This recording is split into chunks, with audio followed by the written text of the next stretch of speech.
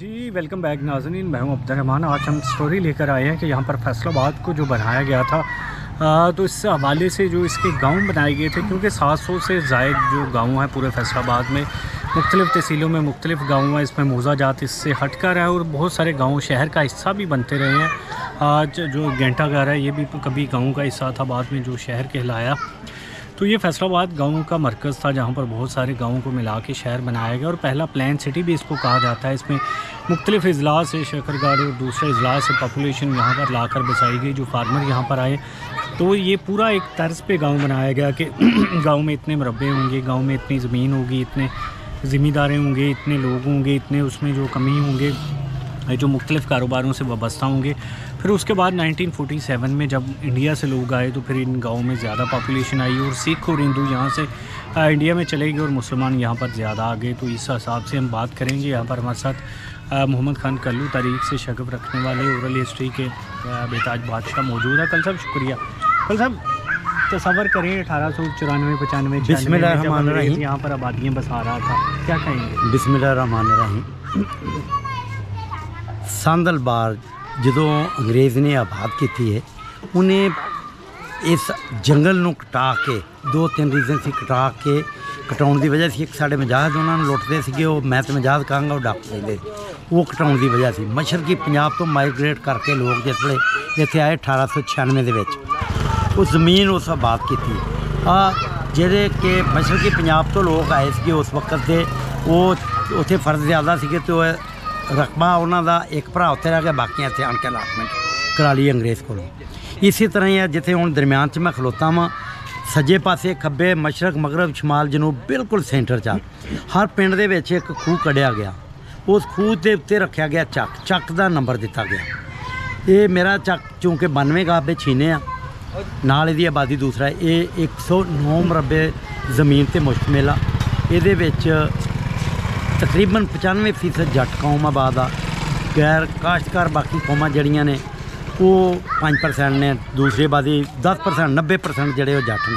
ਦੂਸਰੀ ਕਿਸੇ ਕੌਮ ਦਾ ਘਰ ਨਹੀਂ। ਇੱਕ ਘਰ ਮੇਰੇ ਚੱਕ ਦੇ ਵਿੱਚ ਆਣ ਕੇ ਬੈਠਾ ਸਿਰਫ ਵੀ ਡਿਚਕੋਟ ਤੋਂ ਆਈਆਂ ਵਾ ਬਾਕੀ ਪੂਰਾ ਚੱਕ 109 ਮਰਬੇ ਦੀ ਮਲਕੀਅਤ ਟੋਟਲੀ ਜੱਟਾਂ ਦੀ ਆ। ਦੂਸਰੀ ਕਿਸੇ ਕੰਮ ਦਾ। ਇਸੇ ਤਰ੍ਹਾਂ ਹੀ ਇਹ ਜਦੋਂ ਖੂਹ ਆਬਾਦ ਕਰਤਾ, ਇਹ ਚੱਕ 1896 ਚ ਆਬਾਦ ਹੋਇਆ, ਕਿਉਂਕਿ ਸਾਡੇ ਬਜ਼ੁਰਗ ਜਿਹੜੇ ਮਾਈਗ੍ਰੇਟ ਤੋਂ ਬਾਅਦ ਹੋ ਕੇ ਆਬਾਦ ਆਏ। ਮੇਰੇ ਸੱਜੇ ਪਾਸੇ ਆਖਰਲਾ ਬਾਜ਼ਾਰ ਜਿਹੜਾ ਉਹ ਮਾਈਗ੍ਰੇਟ ਲੋਕ ਜਿਹੜੇ ਹੋ ਕੇ ਆਏ ਸੀਗੇ ਸਨ 47 ਚ, ਉਹਨਾਂ ਦਾ ਵਾ। ਇਸੇ ਤਰ੍ਹਾਂ ਹੀ ਬਾਹਰਲਾ ਬਾਜ਼ਾਰ ਜਿਹੜਾ ਖੱਬੇ ਪਾਸੇ ਆ, ਉਹ ਵੀ ਜਿਹੜੇ ਮਾਈਗ੍ਰੇਟ ਹੋ ਕੇ ਆਏ ਸੀ। ਬਲਕਿ ਇਹ ਜਿਹੜਾ ਟਰਾਂਸਫਾਰਮਰ ਦੇ ਨਾਲ ਜਗ੍ਹਾ ਵਾ, ਇੱਥੇ ਮੈਂ ਬਚਪਨ ਦੇ ਵਿੱਚ ਅਸੀਂ ਇੱਥੇ, ਇਹ ਖਿੱਦੋ ਖੁੰਡੀ ਖੇਡਦੇ ਰਹੇ ਆ। ਇਹ ਚੂੰਕਿ ਇੱਥੇ ਮ, ਖੁੱਲੀ ਜਗ੍ਹਾ ਸੀ ਇਹ ਵੀ ਤੇ ਆ ਮੇਰੇ ਖੱਬੇ ਪਾਸੇ ਜਿਹੜਾ ਘਰ ਬਣੇ ਨੇ ਸੱਜੇ ਪਾਸੇ ਤੇ ਖੱਬੇ ਪਾਸੇ ਇਹ ਬਾਅਦ ਵਿੱਚ ਮੇਰੀ ਹੋਸ਼ 'ਚ ਬਣੇ ਨੇ ਮੈਂ ਤਕਰੀਬਨ 8-7 ਸਾਲ ਦਾ ਸੀ ਅਸੀਂ ਇੱਥੇ ਖੇਡਦੇ ਰਹੇ ਹਾਂ ਬੰਟੇ ਖੇਡਦੇ ਰਹੇ ਹਾਂ ਖਰੋਟ ਖੇਡਦੇ ਰਹੇ ਹਾਂ ਇਹ ਮੇਰਾ ਪਿੰਡ ਜਿਹੜਾ ਹੈ ਇਹ ਇੰਤਹਾਈ ਇੱਥੋਂ ਦੇ ਲੋਕ ਮਿਹਨਤੀ ਨੇ ਜਫਾਕਸ਼ ਨੇ ਦਿਆਨਤਦਾਰ ਨੇ ਮੁਖਲਸ ਨੇ ਔਰ ਬਹੁਤ ਅੱਛੇ ਲੋਕ ਇਸ ਪਿੰਡ 'ਚ ਵਸਦੇ ਨੇ ਔਰ ਅਲਹਮਦੁਲਿਲਾ ਕਿ ਇੱਥੇ ਦੇ ਜਿਤਨੇ ਵੀ ਲੋਕ ਨੇ ਉਹਨਾਂ ਦੀ ਸਿਰਫ ਇੱਕੋ ਹੀ ਹੈ ਕਿ ਮਤਲਬ ਵੀ ਇੱਕ ਦੂਸਰੇ ਨਾਲ ਫਾਹਮ ਤਫੀਮ ਨਾਲ, ਕਿਉਂਕਿ ਜਿਸ ਤਰ੍ਹਾਂ ਮੈਂ ਛੀਨਾ ਗਿਆ, ਅਕਸਰੀਅਤ ਛੀਨਾ ਕੌਮ ਦੀ ਆ, ਕਿਉਂਕਿ ਇਹ ਪਿੰਡ ਛੀਨਿਆਂ ਦਾ ਹੈ। ਅਸੀਂ ਮਾਈਗ੍ਰੇਟ ਜਿਹੜੇ ਲੋਕ ਹੋ ਕੇ ਆਣ ਕੇ ਬੈਠੇ ਆ, ਅਸੀਂ ਵੀ ਬਾਹਰ ਬੜੇ ਫਖਰ ਨਾਲ ਇਹ ਕਹੀਦਾ ਕਿ ਅਸੀਂ ਛੀਨਿਆਂ ਦਾ ਇਹਦੇ ਵਿੱਚ ਸਿਆਸੀ ਜਾਂ ਦਨਾ ਸ਼ਖਸੀਅਤਾਂ ਸੀਗੀਆਂ। ਉਹ ਸਭ ਤੋਂ ਪਹਿਲੇ ਜਦੋਂ ਬਾਹਰ ਆਬਾਦ ਹੋਈ ਹੈ ਦੋਸਤ ਮੁਹੰਮਦ ਸਾਹਿਬ ਸੀਗੇ ਹੁੰਦੇ ਬਜ਼ੁਰਗ ਆ ਸੱਚੋ ਵੇਖੇ ਨਹੀਂ ਉਸ ਤੋਂ ਬਾਅਦ ਸੀਗੇ ਬਾਬਾ ਫਤਿਹ ਮੁਹੰਮਦ ਸਾਹਿਬ ਹੁੰਦੇ ਸੀਗੇ। ਬਾਬਾ ਹਦਾਇਤ ਸਾਹਿਬ ਸੀ, ਉਹ ਦੋ ਭਾਈ ਸੀਗੇ, ਬਾਬਿਆਂ ਦਾ ਟੱਬਰ ਵੱਜਦਾ ਇਸੇ ਤਰ੍ਹਾਂ ਹੀ ਮੀਆਂ ਸ਼ੇਰਾਂ ਦਾ। ਉਸ ਤੋਂ ਬਾਅਦ ਆ ਅਹਿਮ ਸ਼ਖਸੀਅਤ ਸਿਆਸੀ ਲਿਹਾਜ਼ ਨਾਲ ਹਾਜੀ ਮੁਹੰਮਦ ਇਬਰਾਹਿਮ ਸਾਹਿਬ ਸੀਗੇ। ਉਹ ਮੌਜੂਦ ਨੇ। ਉਹ ਅਲਹਮਦੁਲਿਲਾ ਕਿ ਇਸ ਇਲਾਕੇ ਦੇ, ਬਲਕਿ ਮਰਕਜ਼ ਡਿਚਕੋੜ ਦੇ ਵੀ ਚੇਅਰਮੈਨ ਰਹੇ ਨੇ ਤਿੰਨ ਪੀਰੀਅਡ। ਇਸ ਵਾਸਤੇ ਸਾਨੂੰ ਇਹ ਫਖਰ ਹੈ, ਛੋਟੀ ਜਿਹੀ ਆਬਾਦੀ ਹੋਣ ਦੇ ਬਾਵਜੂਦ ਪੂਰੇ ਇਲਾਕੇ 'ਚੋਂ। ਕਿ ਸਾਡੇ ਲੋਕ ਹੁਣ ਜਾ ਕੇ ਮਿੱਲਾਂ 'ਚ ਜਾਂ ਆਪਣੇ ਜ਼ਿਮੀਂਦਾਰਾਂ ਨਾਲ ਵੀ ਕੰਮ ਕਰਦੇ ਨੇ। ਲਿਆਦਾ ਇਸ ਵਾਸਤੇ ਸਾਨੂੰ ਆਪਣੇ ਪਿੰਡ ਤੇ, ਆਪਣੇ ਲੋਕਾਂ ਤੇ ਇੰਤਹਾਈ ਫਖਰ ਆ ਕਿ ਇੱਥੇ ਦੇ, ਅੱਛਾ, ਇਸ ਤੋਂ ਇਲਾਵਾ ਇੱਕ ਸਾਡੇ ਪਿੰਡ ਦੇ ਡਾਕਟਰ ਸਾਹਿਬ ਵੀ ਨੇ।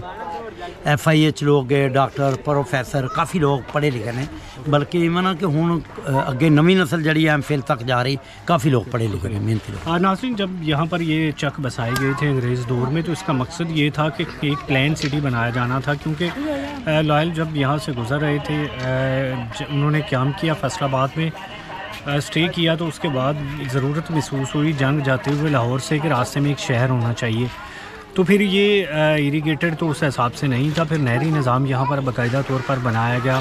फिर नहरी निज़ाम बना। दो दरियाओं के बीच में जो दुआबा कहते हैं, इसे सांदलबार की धरती भी कहते हैं।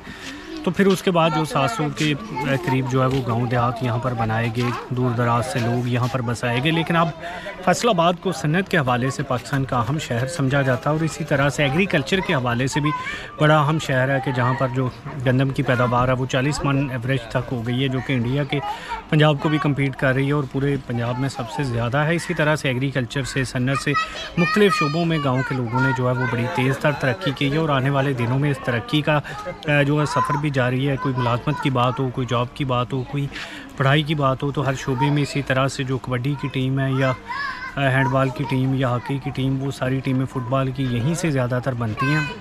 तो ये मुख्तर सा तारफ़ था कि फैसलाबाद के गाँव जो है वो कैसे बनाएगी और अब किस सूरत में है।